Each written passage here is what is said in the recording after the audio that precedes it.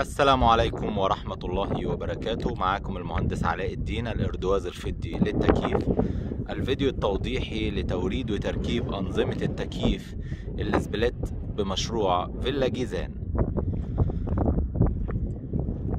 طبعا المقاول العام مؤسسة الجودي الحديثة للمقاولات العامة هو من قام بأعمال التشطيبات بشكل كامل تشطيب المباني وتصميم وتنفيذ أعمال الديكور. فتم الانتهاء من تركيب أنظمة التكييف ال split طبعا ماركة Gree inverter. طبعا وتم تركيب السرموستات remote control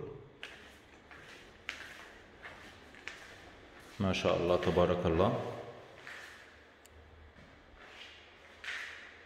طبعا مكيفات ماركة Gree inverter Wi-Fi تعمل بخاصية التحكم عن بعد عن طريق خاصية الواي فاي طبعا في بداية المشروع تم التأسيس للمواسير النحاسية ومواسير صرف التكييف لكي نحصل على المنظر الجمالي. زي ما إحنا شايفين بنكون حريصين إنه المكيف يكون center الغرفة وبيكون في مسافة ما بين ال gypsum board والمكيف.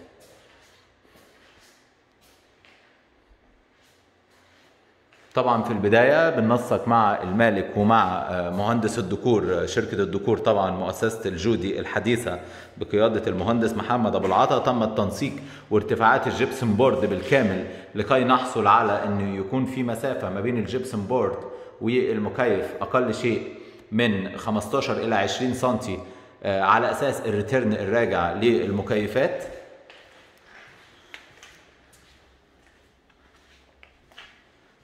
طبعا هنا بالنسبة لجزء الصالة تم تركيب عدد اتنين مكيف قدرة كل مكيف اتنين طن تبريد أربعة وعشرين وحدة حرارية بريطانية.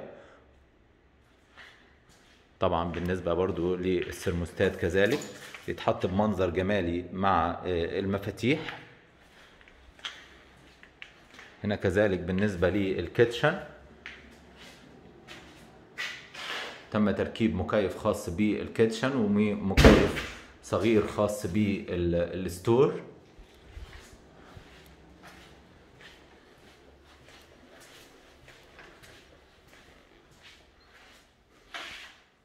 مكيفات طبعا كلها واي فاي. فطبعا المكيفات ال split لابد أن تتم بشكل جيد وبشكل التاسيس يتم بشكل جيد جدا.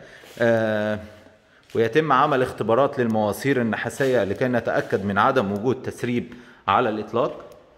أيضا هنا بالنسبة للصالة العلوية كذلك.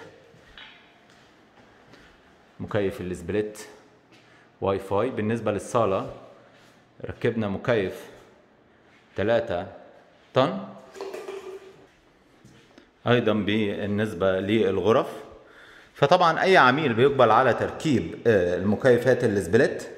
لابد من تأسيس بشكل جيد للمواسير النحاسية ومواسير الصرف والتنسيق مع الكهربائي والسباك وتوجيههم بعزل الماسورة الداخلية الخاصة بمواسير الصرف وتركيب أسلاك الكهرباء المكيف 6 ملي مع القواطع الخاصة بالمكيفات. في الحالة ديت بنضمن إنه المكيفات تتم على أعلى مستوى.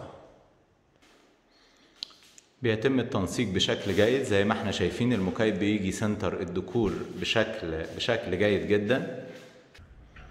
وبالنسبة للوحدات الخارجية تم تركيبها بالشكل ده back side of building بالجزء الخلفي من المبنى.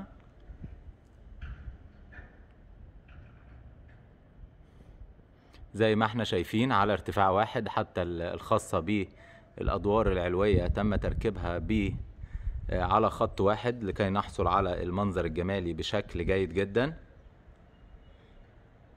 وعشان تكون سهلة الصيانة والتشغيل فيما بعد.